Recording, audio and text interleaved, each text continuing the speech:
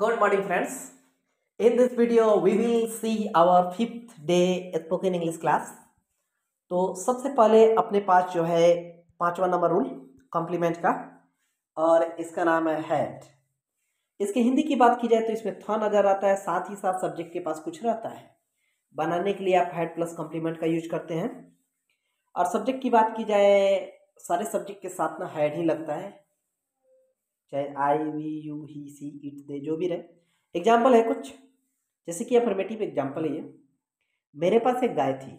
मेरे के बदले आई हैड मतलब के पास थी। एक का एक, काऊ का गाय। दूसरा एग्ज़ाम्पल है निगेटिव सेंटेंस वाला। मेरे पास एक गाय नहीं थी। I had not a cow तीसरा जो है इंटोगेटिव निगेटिव सेंटेंस है। क्या मेरे पास एक गाय नहीं थी? तो क्या के बदले हमने हैड लिखा? आई नॉट अ काउ चौथा है, और ये W H interrogative negative sentence है। मेरे पास एक गाय क्यों नहीं थी? इसका इंग्लिश होगा why had I not a cow इसके आगे कुछ सेंटेंसेस है जो इंग्लिश बोलने के लिए इसे हम याद रखेंगे तो हमारे दैनिक जीवन में इनका काफ़ी यूज़ होता है।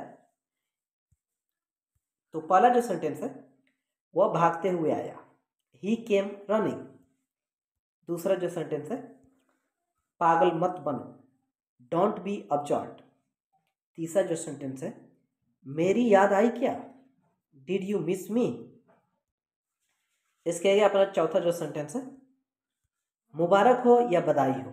इसका होता है कंग्रेचुलेशंस पांचवा है, आ सको तो आना, कम इफ़ यू कैन आगे कुछ वर्फम्स है, जो वर्फम बहुत ज़रूरी होता है किसी भी लैंग्वेज को समझने और सीखने के लिए।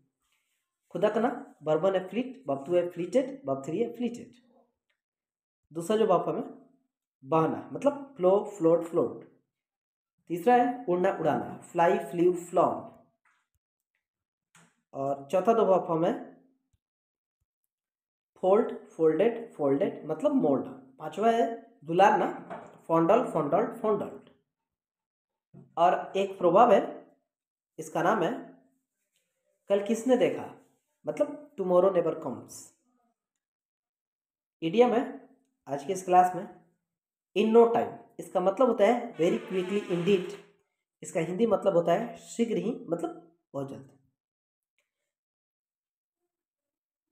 इसके आगे एक वर्ड है आइडेंटिकल इसका मतलब होता है एक जैसा, इसका साइनोनिम है सेम इसका एंटोनिम है डिस्टिंक्ट इसके आगे एक वन वर्ड सब्सटीट्यूशन है इजीली अनवाइड इसका मतलब होता है इरिटेबल यानी चिड़चिड़ा या क्रोधी। और इस तरह से अपना जो आज का क्लास है ख़त्म होता है। Thank you